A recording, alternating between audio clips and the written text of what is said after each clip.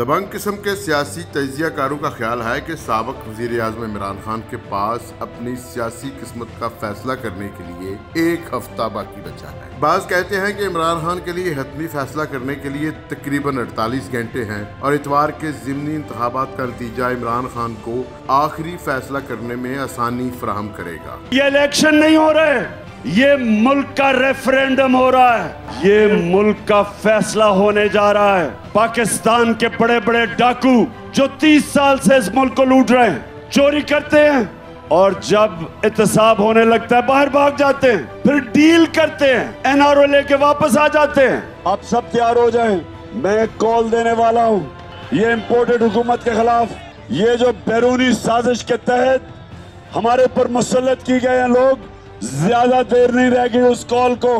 इस्लामाबाद में सियासी नजूमी करार दिए गए शेख रशीद अहमद के पास भी कोई एक राय नहीं। और इनका ख्याल भी यही है कि इमरान खान जख्म खुर्दा और मायूस हैं, लेकिन अब इनके पास भी ज़्यादा वक्त नहीं कि सत्तर जलसों के बाद वो किसी एक फैसले पर नहीं पहुँच पा रहे। शेख साहब जब ज़्यादा मायूस हों तो मरने मारने के मशवरों पर उतर आते हैं। लेकिन ऐसा महसूस होता है कि इस बार शेख साहब मायूस कम हैं, लेकिन खौफजदा और पुरुद हैं कि कुछ ना कुछ ज़रूर हो जाएगा। अगर सब कुछ शेख रशीद अहमद की तो के मुताबिक हुआ तो कहेंगे कि मैं पहले कहता था। और अगर उलट हो गया तो खामोश हो जाना इन्हें आता है। रवायती सियासी दुश्मनी के असरात के जेर असर सियासत का तजर्बा रखने वाले वज़ीर अला पंजाब। चौधरी परवेज लाई की बंदूक का रुख वफाकी वज़ीर दाखिला राना सनाउल्ला की तरफ़ है। और उन्होंने राना सनाउल्ला को खबरदार किया है कि वो इस्लामाबाद की हदूद से बाहर ना निकलें। बसूरत दीगर इन्हें गिरफ़्तार करने वाले तैयार बैठे हैं। ऐसी इतलात भी हैं कि एंटी करप्शन पंजाब के अहलकारों को मुस्तकिल ड्यूटी पर एम टू यानी मोटरवे टू पर इस्लामाबाद के खारजी मकाम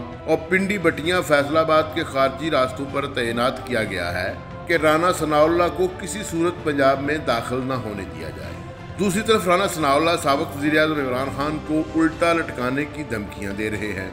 ज़ाहिर है राना सनाउल्ला इतने सादा नहीं कि वो इस तरह की धमकी महज अपनी वफाकी हुकूमत के ज़ोर पर दे रहे हैं। जरा छुप छुप के कहता है कि जी मैं दोबारा लॉन्ग मार्च कर सकता हूँ मैं दोबारा कॉल दे सकता हूँ तो कोई बात नहीं मैं भी पूरी तैयारी से बैठा ये आए इकट्ठा होके तो मैं वहाँ से जलील करके भेजूँगा वापस। जिस दिन ये धरना अनाउंस करेगा उसके बाद इसके लिए रास्ता नहीं होगा। ये ना निकल सकेगा ना आ सकेगा। ये तो समझता ना कि जैसे जीटी रोड के ऊपर इसने बस बिला किसी रुकावट के इसने जनाब टॉप गेयर में पहुँच जाना है इस्लामाबाद, ये इसकी भूल है। बाज राय का दावा है कि इस मरतबा इमरान खान की एहतजाजी हमत अमली माजी से खासी मुख्तलिफ़ होगी और वो महज किसी एक जगह या सड़क पर अपनी पूरी कुत को जमा नहीं करेंगे, क्योंकि इस सूरत में तसादम के इम्कान ज़्यादा होंगे और किसी भी इस किस्म के बड़े तसादम का नुकसान तहरीक इंसाफ को ज़्यादा होगा। वज़ीर दाखिला तहरीक इंसाफ के सरबरा को इश्ताल दिलाने में मसरूफ हैं कि वो जज्बाती अंदाज में किसी एक मुकाम पर अपनी पूरी कुत को जमा कर लें और सिक्योरिटी फोर्सेस के सामने आ जाएँ, लेकिन जराये का दावा है कि इमरान खान ऐसा नहीं चाहते। वो अगर इस्लामाबाद को पूरी तरह मफलूज ना भी कर सके तो चारों सूबाई दारकूमतों को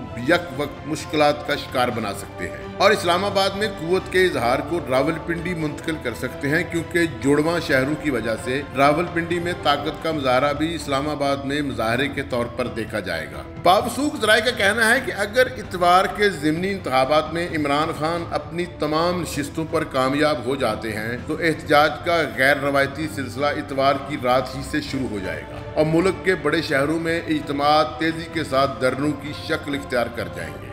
अगर इमरान खान वाज कामयाबी हासिल नहीं कर पाते तो फिर दो बड़े एहतजाजी काफिलों को हतमी शक्ल दी जाएगी, जो यक वक्त शावर और लाहौर से बहुत बड़ी अवामी हाजिरी के साथ इस्लामाबाद की तरफ़ रुख करेंगे। दोनों बड़े काफिलों में इमरान खान शामिल नहीं होंगे, और दूसरे दर्जे की क्यादत इन काफिलों को लेकर आगे बढ़ेगी। तहरीक इंसाफ के सरबरा इस मरतबा ये चाहते हैं कि मरकजी क्यादत को कबल अज वक्त गिरफ्तारियों से बचाया जाए और जब लाहौर और पिशावर के एहतजाजी काफिलों का हजम मर्ज़ी के मुताबिक हो जाए तो आधी क्यादत लाहौर के काफिले के साथ मिल जाए और आधी क्यादत पिशावर के काफिले में शामिल हो जाए। इमरान खान का ख्याल है कि इस दौरान नफसियाती तौर पर वफाकी हुकूमत और इस्टेब्लिशमेंट इस हद तक घबरा चुकी होंगी कि या तो बामानी मुजाकर करना पड़ेंगे या फिर बुखलाहट में ऐसा कदम उठाया जाएगा जो तहरीक इंसाफ को कामयाबी के दरवाजे पर ले जाएगा।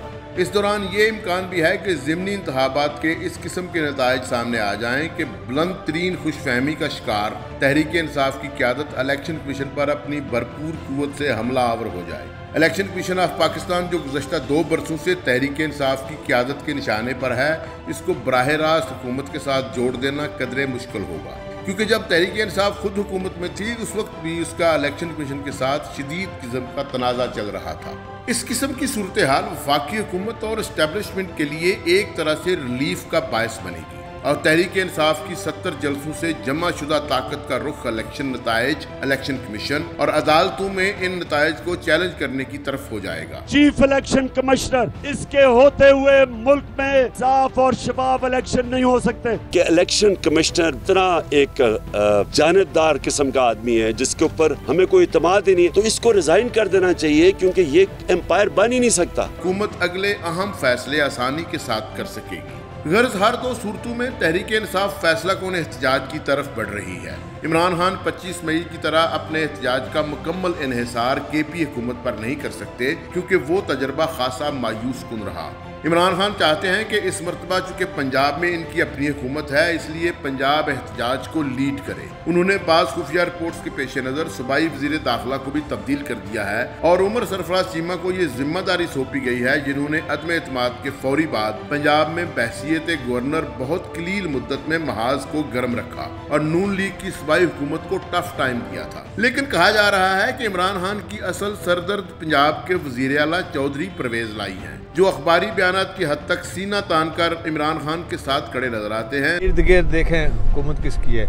पंजाब है वो इमरान खान साहब का अपना है। खैबर पुख्तौरखा है, वो खान साहब का अपना है। वहाँ आज़ाद कश्मीर है, वो उनका अपना है। गिलगित बल्तिस्तान उनका अपना है। तो राना साहब को तो खड़े होने की जगह नहीं मिलेगी। हकीकी तौर पर बहुत मोहतात और परेशान है कि एक तरफ़ हचकोले खाती सूबाई वजारत आला खड़ी है, दरमियान में खानदान में पैदा हो जाने वाले तबाकुन इख्तलाफात मौजूद हैं और सिरे के दूसरे किनारे पर स्टैब्लिशमेंट से पाँच दहाइयों पर मुश्तमिल हमेशा की सूदमंद साझेदारी खड़ी है। जाए तो जाए कहाँ? इमरान खान इनसे दो टोक हमायत और मदद चाहते हैं और वो जवाब में कह देते हैं, जी जी, खान साहब, हम मौजूद हैं। चौधरी परवेज लाई अच्छी तरह जानते हैं कि खानदान की सियासत की बागडोर उनका फरजंद मोनसला ही नहीं संभाल सकता, जबकि चौधरी वजाहत हुसैन जिला की सियासत से बाहर नहीं निकल सकते। बसूरत दीगर गुजरात में मौजूद मुसल्ला मुखालफ ग्रुप मुकामी सियासत में इनसे बालादस्ती छीन लेंगे। इन्हीं खदशात और इम्कान के दरमियान उलझे हुए वज़ीर पंजाब चौधरी परवेज लाई अभी तक हतमी फैसला नहीं कर पा रहे, जबकि दरवाजे पर तहरीक इंसाफ उजलत में खड़ी है। देखते हैं इतवार के जिमनी इंतबात किस किस्म के नतज लेकर सामने आते हैं। और मध्य मुकाबल धड़े क्या हमत अमली अपनाते हैं। फैसला कुल लम्हात और कशीदगी बड़े दिन दोबारा पाकिस्तान की दहलीज पर खड़े हैं। अल्लाह खैर करे।